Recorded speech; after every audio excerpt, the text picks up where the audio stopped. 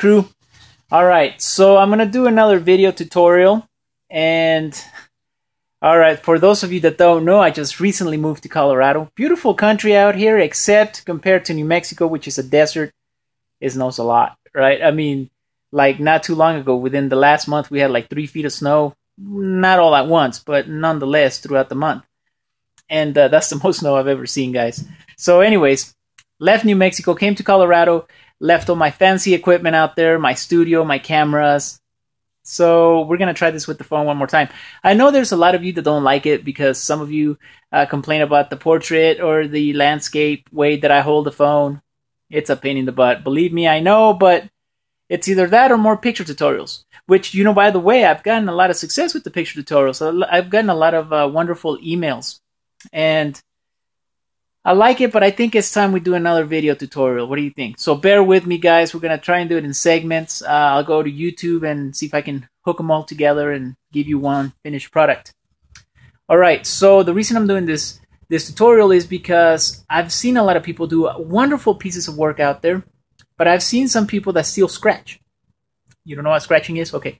Scratching is when you create a landscape, whether it be a terrain or mountains, whatever it is, rocks, and you scratch. You create your own highlights. That's good if you're a beginner. I know I've seen a lot of uh, intermediate, advanced level spray painters doing it out there. They don't want to get out of their comfort zone. Shame on you. So, calling you guys out, I want you to step up your game a little bit. Create the highlights with other paints. This painting that we're going to create today is going to be a black and white. So we have no choice to use but to use white. I think this is going to be a, a good way to bring people into doing their own highlights, you know, without having to scratch everything. Uh, a lot of people that have been doing art for a long time will tell you that negative space is something you don't want in your paintings. It stands out too much. It's too white. It's too bright. So you want to use colors. If you're going to use blue mountains, you want to have a little light blue to create the highlights, right? You don't want white. It stands out too much. But anyways, enough talking. Grab your black and your white bear with me, and here we go. Crew, all right. So I went ahead and added some black here. Yeah, I know, I covered the faces. I figured, why not? They don't need my publicity, do they? Added a little bit of black. My favorite brand, my favorite brand, I get this question asked every day, Color Place. Now, I know Walmart, for some dumb dumb reason, they're not selling it anymore. Uh, my second favorite, Rust-Oleum. I was actually sponsored by Rust-Oleum, good brand. Uh, don't really care for the fat caps; they get stuck too much. I I struggle with that a lot, a lot. So, anyways, all right. Added some black there with the sea sponge. Remember, I don't mind using brushes, guys, but I personally try not to. So we're gonna create our tree leaves, and this is so much easier than using a sock or using a piece of cloth or I've seen people use some some weird stuff out there. Don't use underwear, guys. Come on, use some sea sponge. It's really awesome. It works really well. You're able to create really realistic looking type of uh, bushes, tree leaves. Okay, so we're just gonna add this randomly here. See, see, this is all I'm doing. That So I was talking earlier, I was telling you guys that I I I've seen a lot of wonderful artists out there. And I've made the comments, hey, get out of your comfort zone. Don't scratch. And they're like, no, no, we love scratching. Well, all right. But like anything, guys, my comfort zone is landscapes, right? That, that I've always been guilty of that. Even when all we could do was space sceneries. I remember that time. If you guys didn't know, man, it used to be a time where you get burned to the stake if you try anything else besides space paintings. But I was an artist before I became a spray paint artist. Oh wow. Wow, that's a. I got these magazines. This is the free magazines. You go into a store and they have like a stack. So I, as you can tell, I pack up, right? I get like 10 of them. But they're really cheap. You have to watch out for these because when you start removing your your uh, spray paint, you actually remove the paint with you, and it'll give you a little bit of that that tint of the colors that it's below. All right, so we have some tree leaves here. Gonna add a few more. Maybe here. Okay, that's what we have right now. I'm gonna stop the video so that I have enough so I can record the entire video. But I'm gonna add more uh, more tree leaves, more bushes in the background. So stay with us, guys. Oh, getting fuzzy. All right, stay with us, and we'll see you guys here in a few. So again, with the sea sponge, all I did was just tap into some black. I added some random grass strands. You guys remember what the grass uh, technique is? Very, very simple, right? It's also very similar. In fact, it's the same thing as the uh, fur technique. This is what I use to create animals. Uh, if you guys want to learn more about this technique, check out the tutorial. I think it's called the Eye of the Tiger. It's really cool. It's got the Rocky theme in the background, which, by the way, YouTube gave me some some grief about that for using it. But uh, anyways, that's how you do it. Very simple, very basic. You don't have to spend a lot of time to look. This is all I'm doing. Huh? All right, now check this out. A little bit of black. Again, poor girl. All right, here we go. Magazine sheet.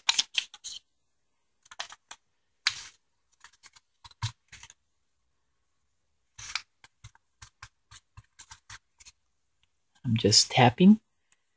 Create some rocks here in the background. Now I've gotten a lot of wonderful emails saying, Spraycasso, you make it look so easy. Guys, it is easy. It's very easy. I mean, you're seeing what I'm doing, right?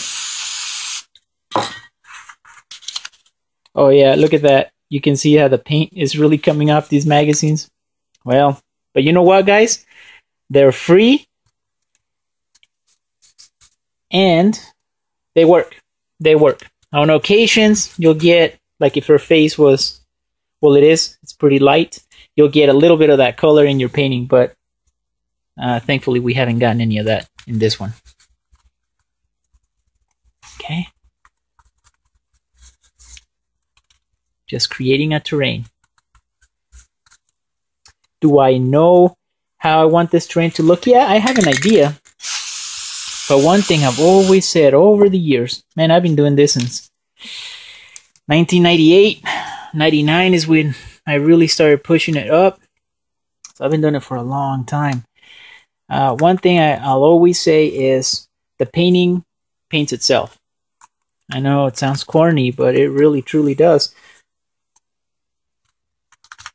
I know exactly what I want, how I want it to look, but then something will happen along the lines where you, once you're done with it, once you're, well, I wouldn't say done with it, but once you've added a few little textures, you realize, oh, you know what? This would look so much better if I add a, a rock right here. Kind of even that out a little bit. Or just removing some of that black. I don't want it to be too, too dark on that area. And so as you're painting, you start to see that it takes shape in a different form. I just recently posted a painting. It was a black and white painting, and it had a nice little river that went through it. I'm not doing the river on this one. But why is Spraycasso? Well, only because I think I've done enough rivers. I think you guys should have the hang of it by now. I mean, if you guys want to see some more, yeah, we'll, we'll definitely add a couple more. Notice how the natural highlights become to, uh, they, they begin to shape the rock, the terrain. So, so if I drag it down, it'll give it the effect of land. See that? That's all I do. That's all I do. Yeah, you'll go through black like nobody's business. But that's why it's important to have a couple of blacks, right? See, I have a little cabinet here. You can see I have all my spares down there. Plus, I have double colors up here because the kiddo and I uh, paint together. Oh, he's doing so well. He's coming along. All right.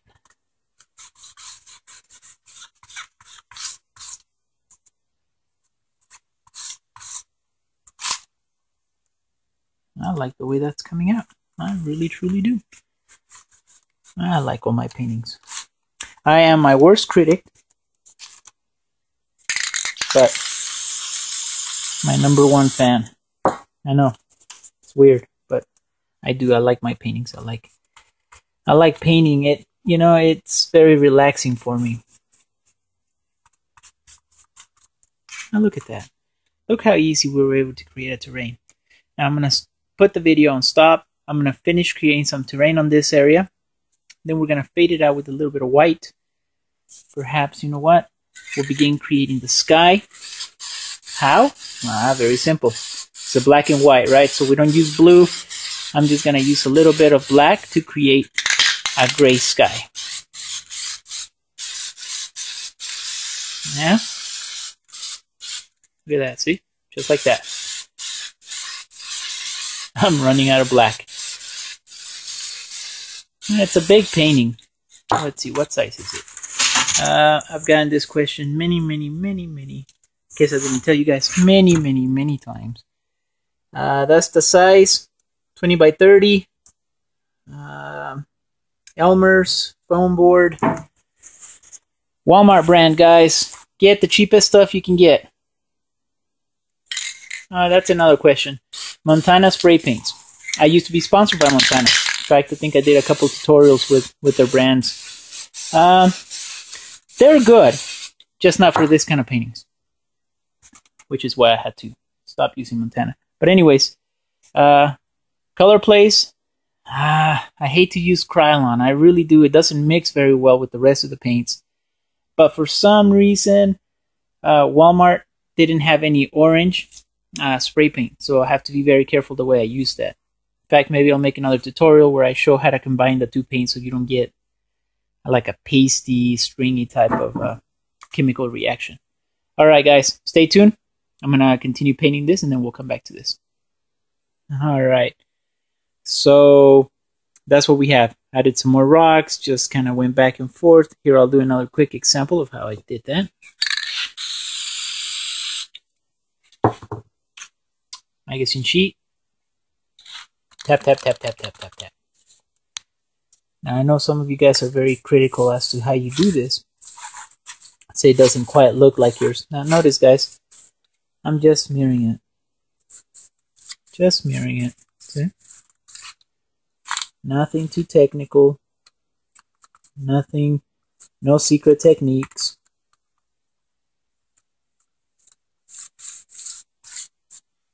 Okay. This is a great way to practice your doing your own highlights without having to scratch. See, most people at this point, or some of the artists that I've noticed, would come in and create something like that. Now, do you notice how even if I'm backing away, your eye automatically goes to that spot? That's the negative this right here, guys, by the way, the blank canvas is called a negative space. So, yeah, you don't want to do that. You don't want to have your eye be attracted to just one specific spot. You want it to kind of randomly go throughout the painting. All right. Oh, this is going to be a little hard. I didn't think this through. I am going to create some trees here in the background using my infamous funnel. Now, guys, when I started calling these the Spraycasso tool and the Spraycasso funnel and all this stuff. I get this asked a lot.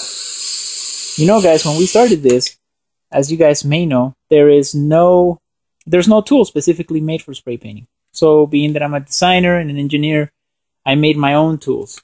Uh, it's a long story. Hey, believe me, it's a lot. It's better, cost effective if you make your own. So I show you how. Uh, I used to get them uh, made professionally made with plastic and everything, but ooh, that was too expensive and it's a long story. So anyways, that's how you do it. See that? Move some of these cans out of the way. You just tap.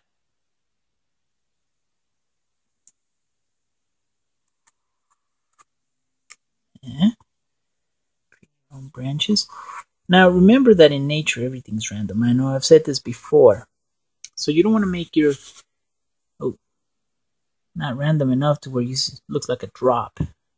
So just gonna go back and forth here a few times. But you want your to get some sort of curvature on your on your trees, on your branches. I'm not worried about this part. You know why? Because just like we did the terrain earlier, see that? We can camouflage it with the, the terrain in the background. And there it doesn't look like a complete blob. Same with that one, see that? Alright guys, so I need both hands. So I just showed you the basic technique of how I did this. When we come back, there's probably going to be a few more trees throughout the painting. So stay tuned. Alright crew. So what I did, so I added a couple more trees as you can see. I also added a little bit more tree leaves here in the background. Sea sponge. So far, no brushes. The only brush we've used, magazine sheet, sea sponge. Now, seen a lot of people use brushes. Am I mad? No, not really. I think it kind of goes away from uh, what spray painting was all about. You know, when I got started into it, I used to paint with, uh, in fact, I was actually quite good with brushes. But one of the things that I love about spray painting is not only how fast it is,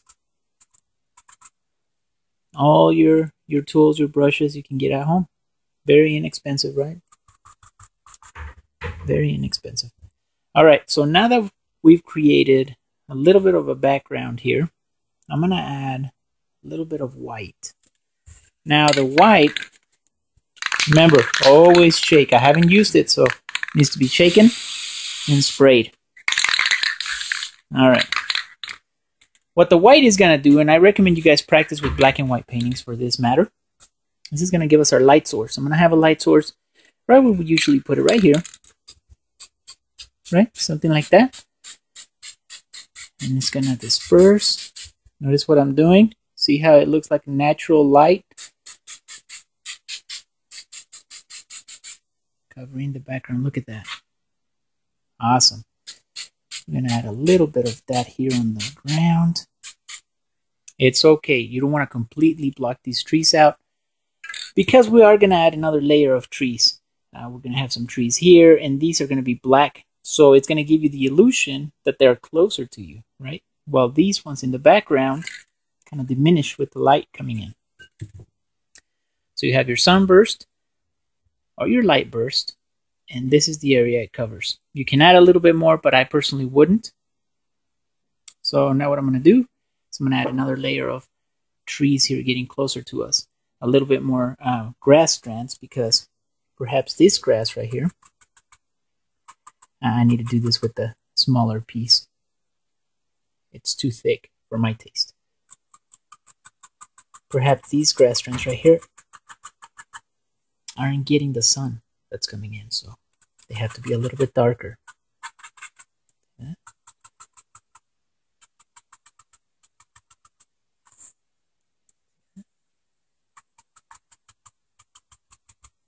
And it just adds to the illusion, guys. Okay, so let's add another layer of trees. I'm going to try and do this with one hand.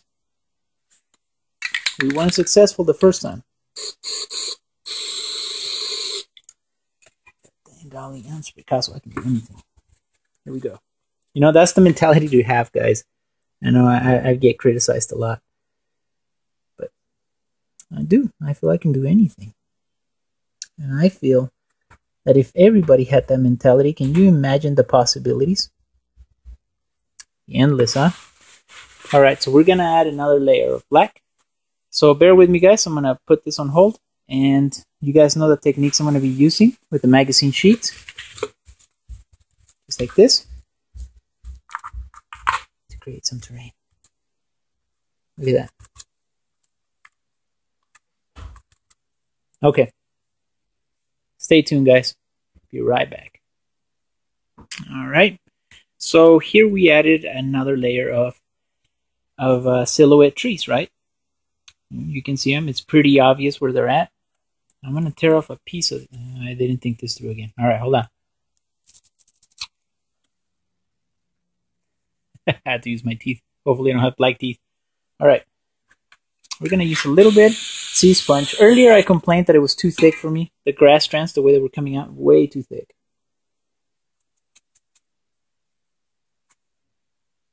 All right.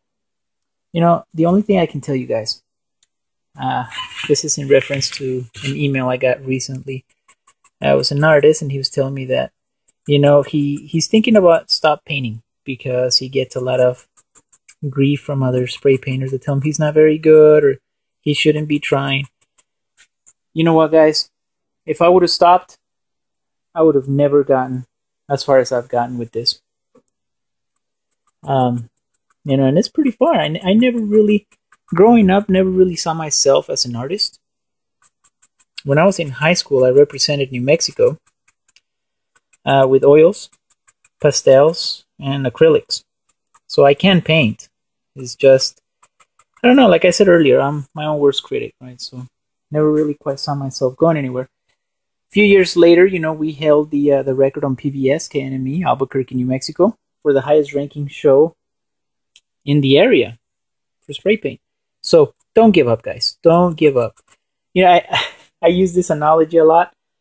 Jesus Christ himself got criticized. Come on.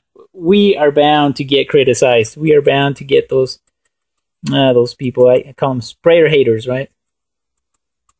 Everybody has an opinion. But don't let that opinion, especially if it's negative, bring you down my opinion counts for anything. I say, I believe you can do it. Keep trying. Keep trying. Don't give up. It's easy. If you come in here with the mentality of, you know what? I can do it.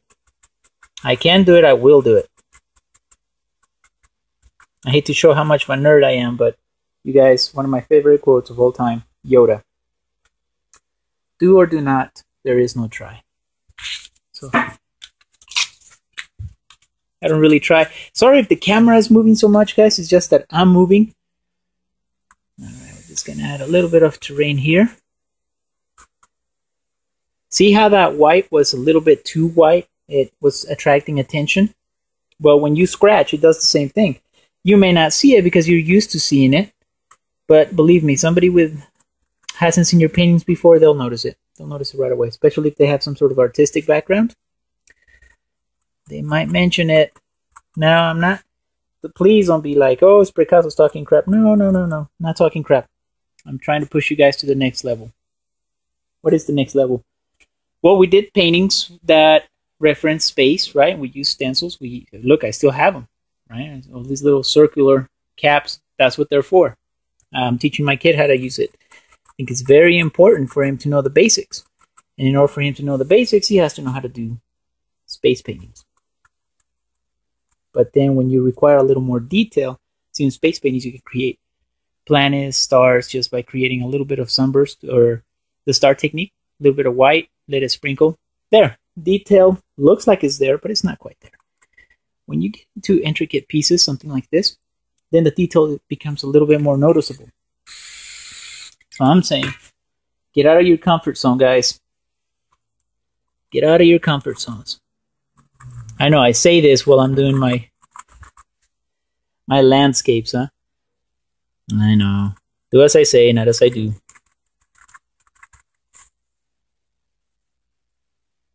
But hey, I did my time with space paintings. I more than did my time with space paintings. I just, you know what? I find painting landscapes very relaxing. I usually picture myself sitting right in this area it's usually a lawn chair, and I see myself looking into into the background there. Right. so what I'm doing here, oh, still too much. And it's creating some little grass strands, breaking some of these hard lines oh, by adding a little bit of grass.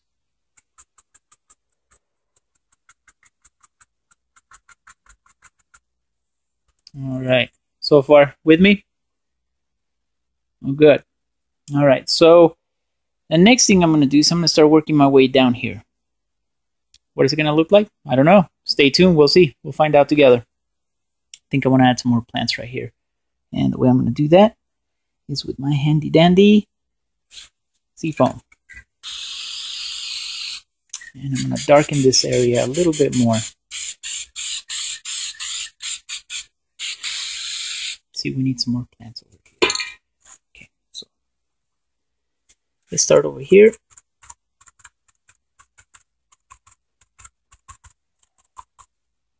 All right, we'll do the same way here.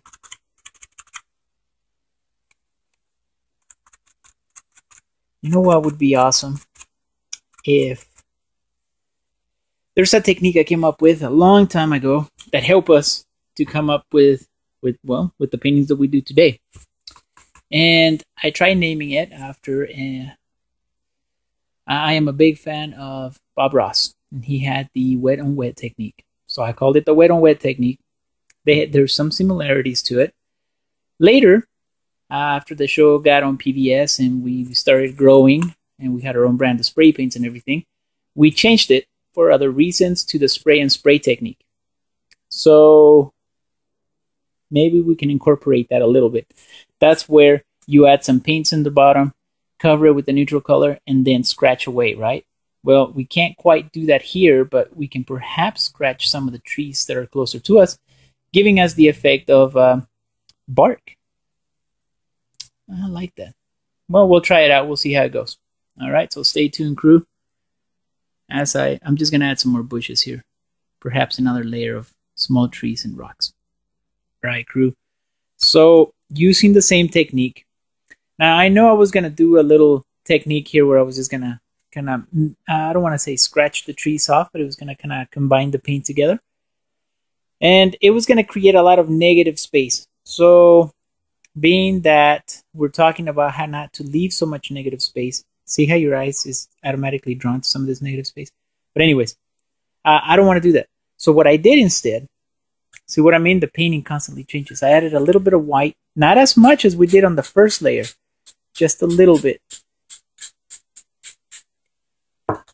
to give it another little uh, layer, a light layer of light that's coming in. So the next layer that we add again, it's going to be a silhouette of trees. It's going to look darker, right, than before because we added a light layer. So that's what it looks like so far. And notice I added a bunch of little plant life in the background. Now, uh, I still don't like the way some of this grass came out. See, I criticize myself a little too much sometimes regarding painting. Bit of a perfectionist It's not a bad thing. It's just it's not a great thing either. People are like, "Oh my god, that looks great," and I'm like, "Well, the grass could look a little bit better, or the light source, or you know, everybody goes through that. Everybody goes through that." So, guys that are out there, that I get a lot of emails saying, "Oh, you make it look so easy," guys. I'm my own, I'm my own worst critic too. Like I said earlier, I'm my biggest fan as well. I, I like what I paint. But Oh, guys, don't give up. Don't give up. The worst thing you can do. Keep trying, keep trying.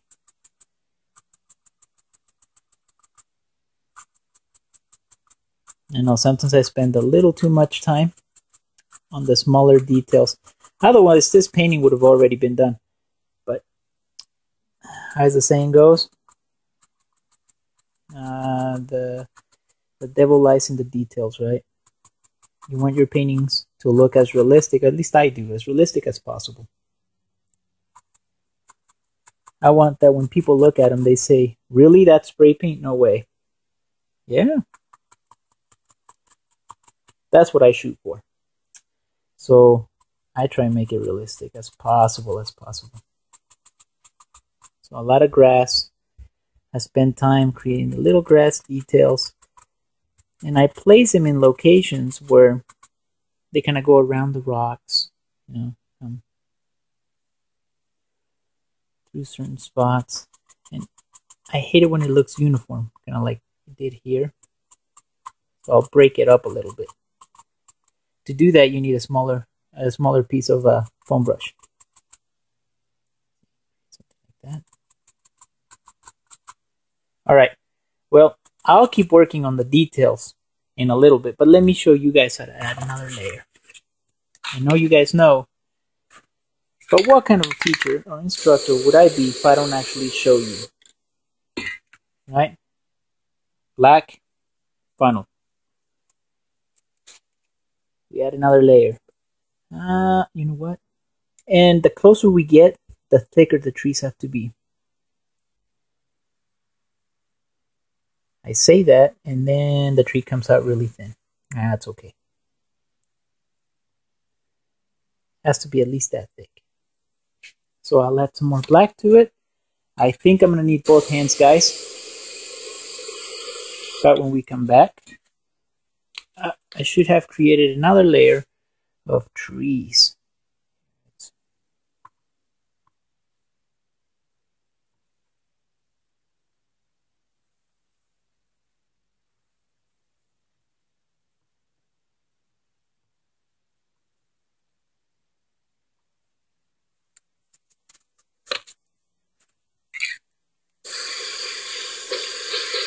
Yeah, we go through black. I know, everybody's business. We go black quite a bit.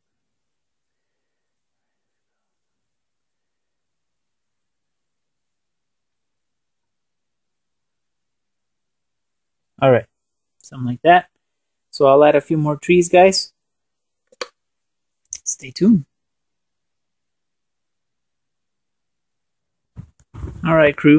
So went ahead and added the other layer of spray paint uh, of the silhouette trees. Uh, added some more bushes here. You can see some uh, some of that grass strands there. And to be honest with you guys, I'll probably go over it a few more times. Just you know, you know me. I'm not OCD, but I say that, and then here I am doing it. Uh, let's see, a little bit of black.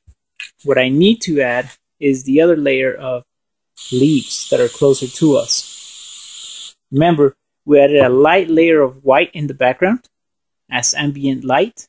So we did it the first time.